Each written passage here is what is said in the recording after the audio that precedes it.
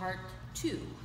So what we did was we cut our foundation right here and then I created a wedge point by pulling it out just like that and coming in on a 45 degree angle.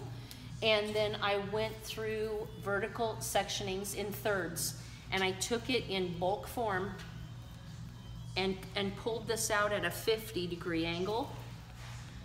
I pulled this out like so and I come in and I take out the long on a 45, cutting right at the 45, and then I went through in thirds, grabbing the whole section like so, and I pull it out,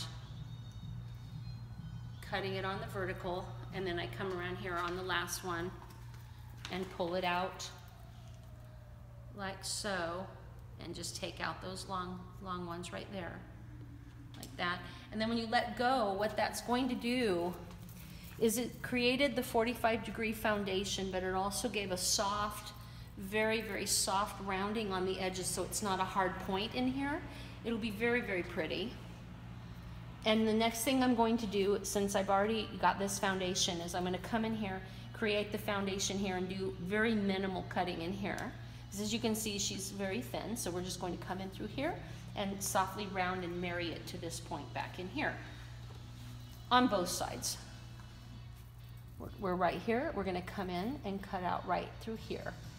And this is now considered our A point, and I'm going to create a B point and marry those two. Okay? All right, we'll be right back.